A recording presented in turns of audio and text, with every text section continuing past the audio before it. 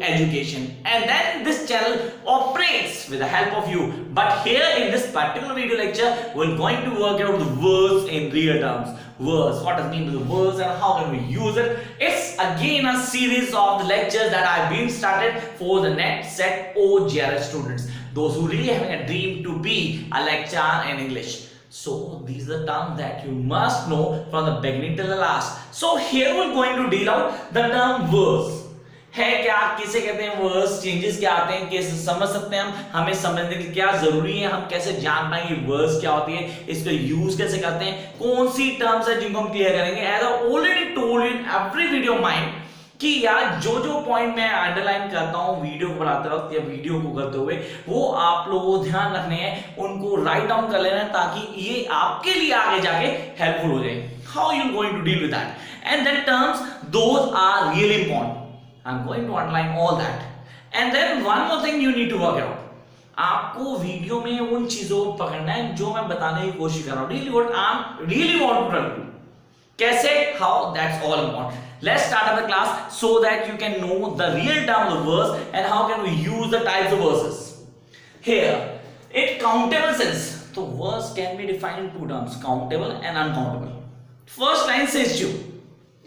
In a countable sense, it is formally a single metrical line in a poetic composition. Single metrical line in a particular composition, poetical composition. And it says, how it has represent the division of any grouping words.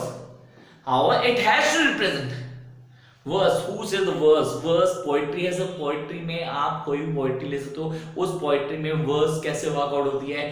ठीक है now अब how do I kiss it the eyes was here the eyes was there the eyes were all around और the water was here the water was there the water was all around not a single drink और drop to drink it out verse definitely verses the other verses that been used. How it has to represent any division or grouping of words in a poetic The grouping traditionally has been referred to as stanzas. अच्छा grouping को हम stanzas बोलते हैं. We're going to have a video on stanzas very soon.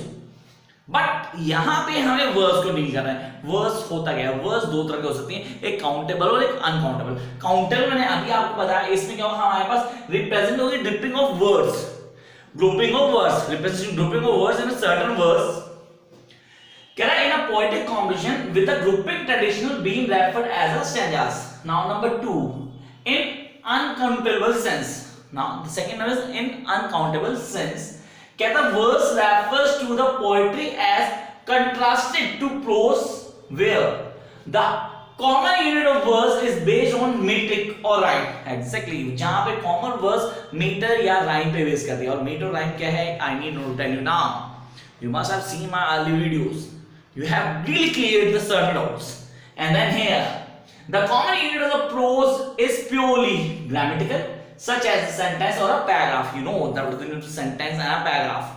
And then the types of verses. दो तरह के verses हैं जिनको clear करेंगे.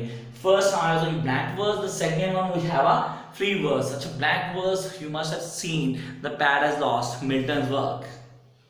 Really the paradise lost of written work you can go to my videos subscribe किया हुआ channel तो दोबारा जाके वीडियो देखो paradise lost की वीडियो है वहाँ पे उसमें एग्जांपल किसका दिया है ब्लैंक वर्स का the milton's work the paradise lost the poetry written regular metric but unrhymed here the poetry was really written in metric but unrhymed and almost composed to iambic pentameters iambic pentameters सही है क्या है sonnets की video देखी होगी you must have seen the video of sonnets उसमें मैंने आपको बताया है iambic pentameters क्या है कहाँ यूज़ है it's been used in sonnets 14 line के sonnets में first 8 and last 6 octave and sunset and then two shorts of sonnets are there number one the patricial and number two was shakespearean then examples का दिया मैंने आपको। The example blank verse you can find out in Paradise Lost and then free verse what is mean of free verse Dickson का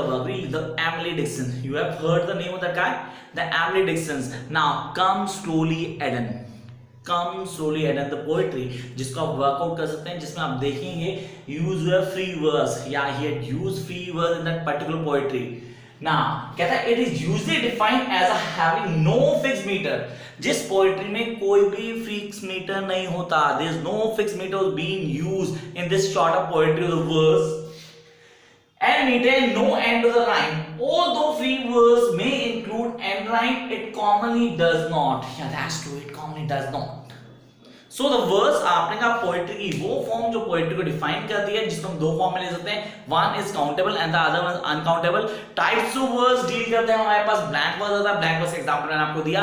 Pad has lost the middle verse then we have a free verse I will example again you the come slowly Eden the come slowly Eden the work of Emily Dickson that you need to work it out If you like this video, don't forget to subscribe and share the video with other people so they too can get the benefit. And remember, you need to work out all the underlined words or the statements that will be quoted by me because they are going to be